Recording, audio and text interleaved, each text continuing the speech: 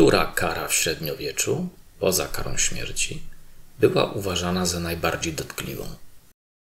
Techpedia. Tylko sprawdzone informacje. Three, two, one.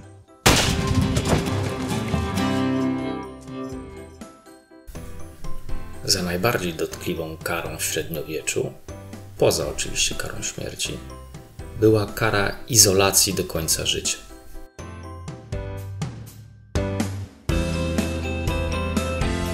Jeśli filmik Wam się spodobał, zasubskrybujcie kanał i dajcie łapkę w górę.